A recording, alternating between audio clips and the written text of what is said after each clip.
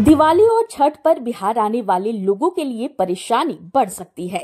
एक तरफ़ बिहार में आने वाले सभी ट्रेनों में सीटें फुल है तो वहीं एयरलाइंस कंपनियों ने फ़्लाइट का किराया पाँच गुना तक बढ़ा दिया है। 31 अक्टूबर को दिल्ली से पटना का किराया तेईस हज़ार आठ सौ सतहत्तर रूपए तक पहुँच गया है।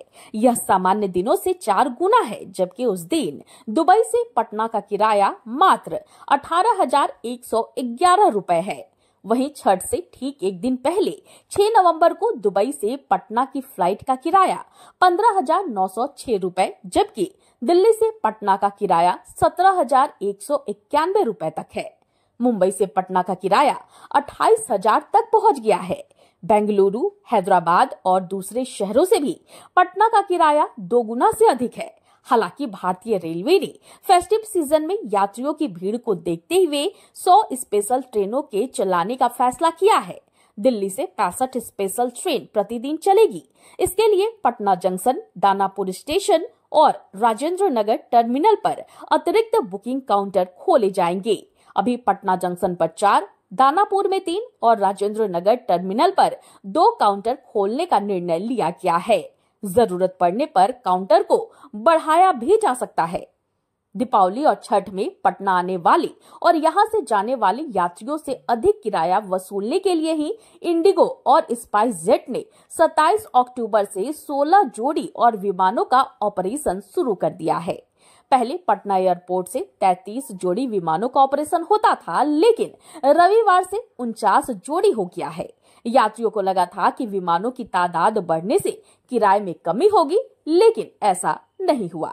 पटना एयरपोर्ट पर 26 अक्टूबर तक यहाँ से 33 जोड़ी विमानों का ऑपरेशन हो रहा था, लेकिन अब यहाँ से उनचास जोड़ी फ्लाइट्स का विंटर शेड्यूल जारी किया गया है। 12 नवंबर से विस्तारा की दो फ़्लाइट एयर इंडिया में मर्ज हो जाएगी। 11 नवंबर से विस्तारा बंद हो जाएगी। इस बीच इंडिगो ने छह और स्पाइस जेट ने 10 नई जोड़ी फ्लाइटें शुरू की है।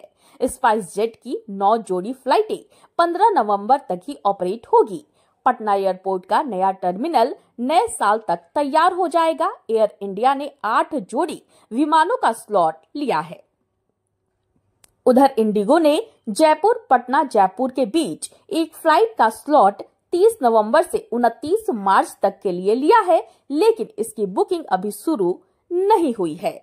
आपको बता दें कि दीपावली और छठ पूजा को लेकर स्पेशल ट्रेनों की संख्या लगातार बढ़ाई जा रही है। कोटा, दानापुर स्पेशल कोटा से रविवार और गुरुवार को रात नौ बजकर पच्चीस मिनट पर खुलकर अगले दिन रात आठ बजे दानापुर पहुंचेगी। दानापुर कोटा स्पेशल सोमवार और शुक्रवार को दानापुर से रात साढ़े नौ बजे खुलकर अगले दिन रात के दस बजकर पच्चीस मिनट पर कोटा पहुंचेगी। New Jalpaiguri, Patna special. New Jalpaiguri से शनिवार की सुबह पाँच बजे खुलकर शाम के पाँच बजकर चालीस मिनट पर पटना जंक्शन पहुंचेगी। पटना न्यू जलपाईगुड़ी स्पेशल शनिवार को पटना जंक्शन से शाम साढ़े सात बजे खुलकर अगले दिन सुबह साढ़े नौ बजे न्यू जलपाईगुड़ी पहुंचेगी।